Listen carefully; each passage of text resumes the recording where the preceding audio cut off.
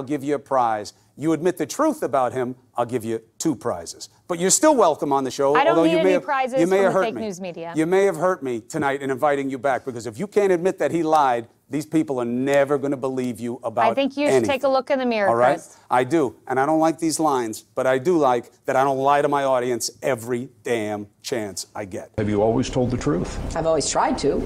Always. Always.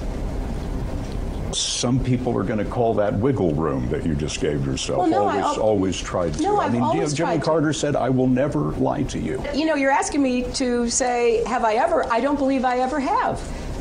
I, I don't believe I ever have. I don't believe I ever will.